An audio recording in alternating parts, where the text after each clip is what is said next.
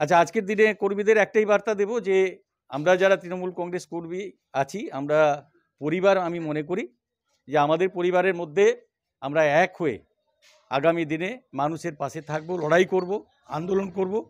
আমি একতার বার্তা দেব এবং ময়না ব্লকের মধ্যে বাগচায় এখনও একটা অস্থির পরিবেশ চলছে।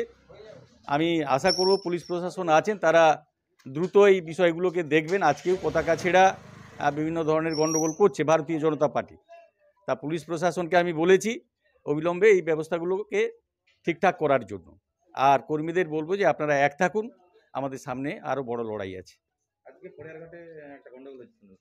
হ্যাঁ আমি সকালবেলায় খবর পেয়েছিলাম যে ওখানে আমাদের পতাকা আমাদের কর্মীরা পতাকা টাঙিয়েছিল এবং তারপরে বিজেপির সমর্থকরা নেতৃত্বরা এসে সেই পতাকা ছিঁড়ে দিয়েছে এবং সেখানে লোক জমায়েত করে আমাদের বিভিন্নভাবে গালিগালাজ সহ কর্মীদের উপর অত্যাচার করার চেষ্টা চলছে।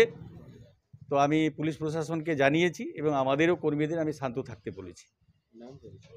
আমার নাম সন্দীপব্রত দাস, সভাপতি, Moyna block Trinamool Congress committee. বলেছিলেন এটা ব্লক সভাপতি একদম ভিত্তিহীন অভিযোগ করছেন। কালকে বাচ্চা অঞ্চলের অন্যদের কোনো জায়গায় প্রতিষ্ঠিত, প্রতিষ্ঠা দিবস পালন হয়নি। একটি জায়গায় বিক্ষিপ্তভাবে হয়েছিল, ওনারা ভয়ে ভয়ে কয়েকজন কর্মী টাঙিয়েছিল সেই অবস্থায় কিছু ফ্ল্যাগ যদি হয়তো ঝুলে যেতে পারে কিন্তু আমাদের কোনো কর্মী বা তৃণমূল কংগ্রেসের এই মুহূর্তে বাক্সা অঞ্চলে কোনো অস্তিত্ব নেই।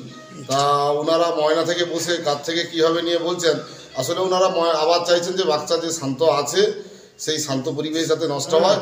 ওনারা ওনাদের কর্মীদেরকে উস্কানি দিচ্ছেন যাতে বাচ্চায় আবার নতুন করে গণ্ডগোল হয়। এটা একদম ভিত্তিহীন অভিযোগ। হ্যাঁ এটা আবার বাচ্চায় যাতে যে শান্ত আছে বা বাচ্চায় যেটা উন্নয়নের জোয়ার চলছে ওখানে সরকারের পরিবর্তন হওয়ার পর আমরা ক্ষমতায় আসার পর সেইটাকে বিভ্রান্তি খবর চড়ানোর জন্য সারা ময়না জুড়ে ওনারা এটা বিভ্রান্ত ছড়াচ্ছে আচ্ছা আপনার নাম আর আপনার আমার নাম উত্তম সিংহ আমি ভারতীয় জনতা পার্টির ময়না দক্ষিণ মণ্ডলের সভাপতি।